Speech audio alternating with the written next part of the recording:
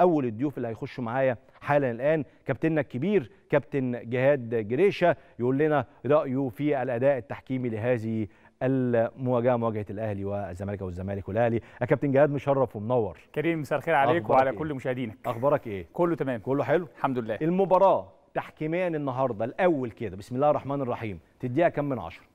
بص أنا هكلمك النهارده مفيش قرار مؤثر على فكرة المباراة. آه. آه في خطأ آه موجود هنتكلم على الخطا موجود. النتيجة. لكن في الآخر في آه. الآخر بنتكلم في 8 8 و3 من 10 8 و5 من 10 بنتكلم نجاح لطاقم التحكيم النهارده. نجاح لطاقم حقيقي. التحكيم إيه أبرز الحالات اللي النهارده شفتها مؤثرة؟ بص أنا في آه، آه، لقطة الزمالك طالب بيها بركله جزاء لمسه اليد. آه، هنجيب هنجيب الحالات دلوقتي مع بعض بس. بنتكلم عموما يعني. آه. الإيد ربيعة آه، في وضع طبيعي من البداية للنهاية وبالتالي لمسة اليد غير غير متعمدة كنت وما ما بتفرج مع كنت بتفرج مع الأصدقاء آه. فاختلفوا واحد بيقول ضربة جزاء واحد مش ضربة جزاء قلت لهم كابتن جهاد جريشة قال لي أدام مش مكبر جسمه بالظبط. ما تبقاش ضربة جزاء أنا بقيت. ماشي وراك خلاص حافظ الإيد. الإيد مش مكبرة الجسم صح موجودة في وضع طبيعي من البداية للنهاية وبالتالي استمرار اللعب كان قرار صحيح من حكم المباراه. آه، اللعبة الثانية برضو بنتكلم في ركلة جزاء الأهلي طالب بيها المعيار لعب الكرة. طب ما تيجي رأيك نجيب الحالات؟ نجيب الحالات. نبدأ بإيه؟ نبدأ بال إحنا مرتبينها مع بعض نشوف الحالات واحدة واحدة يلا. هاتوا الحالات يا جماعة بسرعة عشان الكابتن جهاد يعلق عليها واحدة واحدة. أنت قلت لي كمان أنت هتلاقي لي إيه؟ ضربة الجزاء. آه، في ركله جزاء للأهلي كان طالب بيها بتاع محمد شريف. برضه هنشوفها مع بعض ونحللها مع بعض عشان الناس آه. تبقى واضحه آه. واضح الصورة معانا يعني. طيب يلا. يلا بينا. نبتدي واحدة واحدة مع آه. بعض. بنتكلم في ده ده فاول في في, في بداية المباراة. آه الأساس الفاول الأساس هو النادي الأهلي. مم. يعني الكورة كانت موجودة بفاول النادي الأهلي وبعد كده هو آه، ما احتسبش الفاول. في فاول موجود النادي الأهلي الرجل الرجل في الركبة من ورا. وبالتالي هو استمر اللعب ما حسبش الفاول. وبالتالي بعد كده احتسب فاول للزمالك. ده خطأ عادي كفاول موجود في, في, في بس بنتكلم إن في أخطاء. يعني بنتكلم في أخطاء موجودة. حكم أجنبي حكم مصري كله بيغلط. اللقطة الثانية بنتكلم في تسلل. استمر اللعب وانتهت اللعبة والتسلل المساعد رفع الراية عمل ديلي للراية بتاعته. كان التسلل يا كابتن جهاد تسلل موجود. تسلل تسلل موجود. اللي فيه آه، اللاعب الأهلي سبب بج- بجزء من الجسم. مم. آه، تسلل المساعد واقف في مكان ممتاز. استمر اللعب عمل ديلي لل- للراية بتاعته. مم. وبعد كده كمل هنكمل يا كريم بعد كده. الراجل رفع الراية في الآخر وتسلل صحيح وقرار صحيح من حكم المباراة. طيب نشوف الحالة اللي بعد كده. بعد كده بنتكلم في الفاول اللي تم احتسابه لإمام عاشور. آه، الفاول طبعا مظبوط. هنتكلم هي هل هو يستاهل إنذار ولا مش يستاهل إنذار؟ وليه الحكم ما اداش إنذار في اللعبة دي؟ اولا الفاول تم بإهمال من لاعب النادي الأهلي. طبعا هو كان بيعترض على المساعد إن هو ما رفعش. المساعد بيقول له الحكم هو اللي احتسب. آه، لكن كان موجود آه، رقم 8 حمدي فتحي موجود. وبالتالي ال- ال- ال- الفاول تم بإهمال. ما فيش هجمة واعدة لأن وجود مدافع تاني النادي الأهلي موجود وبالتالي آه، فقط احتساب الفاول اللي تم بإهمال وبدون إنذار وقرار صحيح من حكم المباراة. عظيم جدا. نشوف الكرة اللي بعدها. ومش أحمد عبد القادر يعني ما وقعش إمام عاشور بالتاكلينج بتاع أحمد عبد القادر اللي. أحمد عبد القادر عامل- حمدي الموجود هو ده اللي قلل من إنذار يعني. صحيح. اللعبة اللي بعد كده بنتكلم في آه، فاول نادي الزمالك. هنشوف ال- المنظر الفاول. هل يستحق إنذار؟ ما يستحقش إنذار. والحكم احتسب الفاول آه بس ما اداش فيه كارت آه، أصفر. أصفر. فنشوف هل foot on foot مم. دي على طول في القانون بنقول الرجل فوق الرجل foot on foot ده إنذار وجوبي. آه. وبالتالي هو لازم كان يح- يحتسب الفاول ويدي إنذار للاعب النادي الأهلي بس لا تستحق طرد. لا هي كارت أحمر. اللي ما دام الرجل على الأرض أحمر؟ آه، أصفر. آه، أصفر. أنا آسف. آه. ما دام الرجل على الأرض foot on foot هو آه، كارت أصفر للاعب النادي الأهلي. عظيم. ناخد الكره هو ما اداش الإنذار ده. ناخد الكره اللي بعد كده.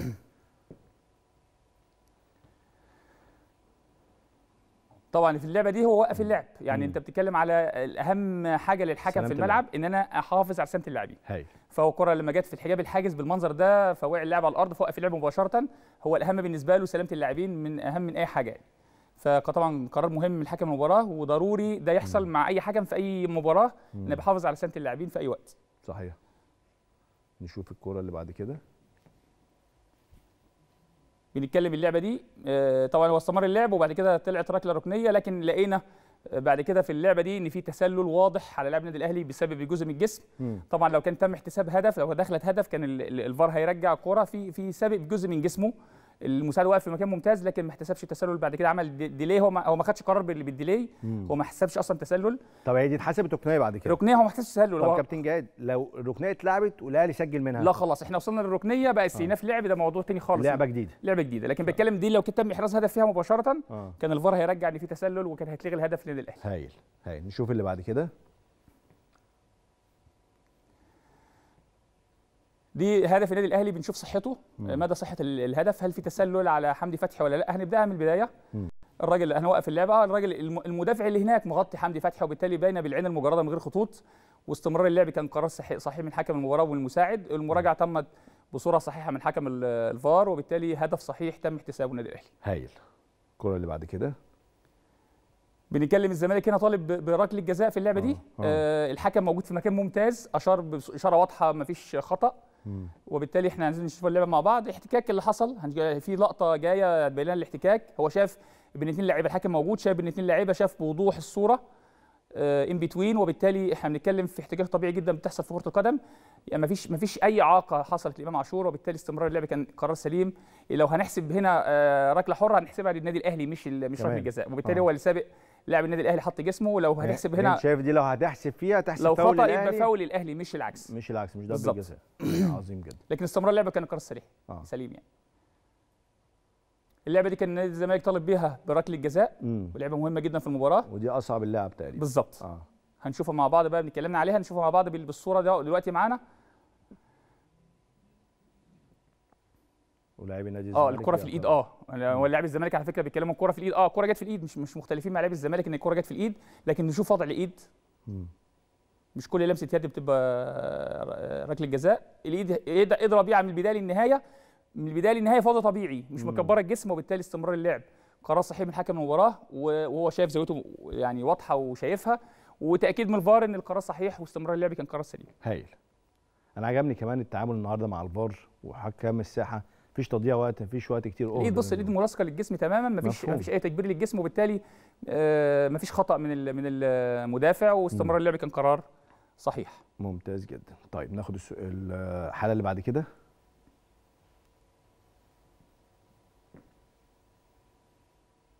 دي offside التسلل آه احتسب التسلل آه. واللي برضه التسلل كان من البداية والحكم المساعد الثاني عمل delay للراية بتاعته. مم.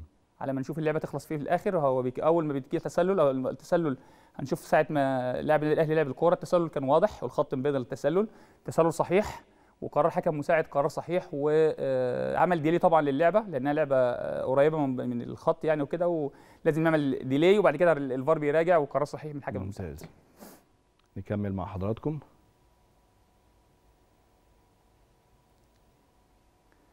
آه دي اللعبة اللي, اللي احتسب فيها آه، انذار اللعبة دي نرجع بقى بيها من البدايه نرجع من البداية. مم. واستمر اللعب. استمر اللعب. كنت أتمنى الانذار ده يتأخر عشان في لعبة هجمة واعدة لنادي الزمالك. بالمنظر ده كان أهم من استمرار اللعب أهم من الانذار الانذار كان هيرجع له آه. صح. في انذار انذار مستحق. ما عنديش مشكلة في الانذار خالص. لكن كان استمرار اللعب و... و... وتأخير الانذار كان هيبقى قرار مهم جدا. صح. لأن كانت هجمة واعدة هجمة واعدة وهجمة آه، مهمه لنادي الزمالك. الانذار على فكرة صحيح مليون المية. لكن كان الأهم لنادي الزمالك إن الكرة تستمر ويستمر بس الواعده بس يا كابتن جهاد هو هو طاهر آه وقع إمام. بعد كده ويستحق الإنذار. بس إمام برضه دخل مع طاهر هنا بص. لا هي هي مش مش دي القصة مش مش ده مش ده الإنذار. الإنذار جاي. كمل آه. كمل كمل كمل كمل كمان. لا مش دي مش ده الإنذار خالص كمل. كمل كل ده آه مش حاجة. هو بعد ما بعد ما اتحرك إمام هو جاب رجله. أيوه هي آه دي. بقى هي الإنذار هنا. هي هو ده هو ده آه. الإنذار. هو ده آه. التهور اللي عمله آه، طاهر في اللعبة دي. آه هو ده الإنذار مش الأولاني مفيش في حاجة لا ده ولا ده مفيش مشكلة خالص لكن آه. في لما كمل عليه آه، طاهر. لكن بقول لك إن تكملة اللعبة كهجمة واعدة للزمالك كان أهم من الإنذار والإنذار كده كده كان هيديه بعد كده بعد. كده مش مشكلة خالص هايل ناخد اللي بعد كده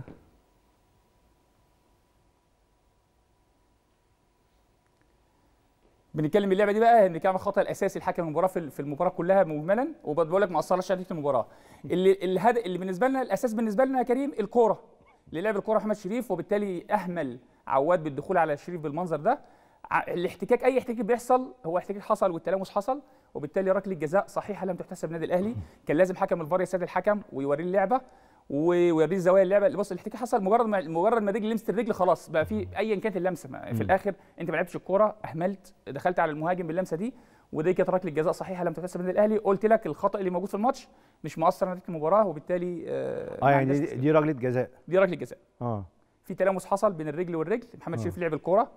عواد ما وصلش للكورة وبالتالي التلامس اللي حصل ده كان يعاقب عليه آه عواد الرجل الركبه الركبة اللي تحت بتاع عواد جابت في رجل جيب محمد شريف هو ده الاحتكاك اللي حصل ده آه. ركبه الركبة الشمال لعواد. في رجل محمد شريف هي دي الاحتكاك اللي حصل وده اللي كان يعاقب عليه عواد بركلة جزاء آه للنادي الأهلي الحكم الفار ما استدعاش زي ما عندنا في أخطاء عندنا في مصر حكم الفار غلط ما استدعاش وبالتالي آه، خطأ إن عدم احتساب ركله جزاء للنادي الأهلي دي آخر كورة يا كابتن جهاد لسه فاضل كورة. أهي آه هي دي آخر واحدة ده الهدف الثالث للنادي الأهلي بنأكد إن هو مش تسلل أو سليم. آه، ه- بعد الهدف ما يح- ما يحرز هنرجع ورا. في لاعب موجود في موقف تسلل. صح. ولاعب تاني موجود في موقف سليم. نكمل.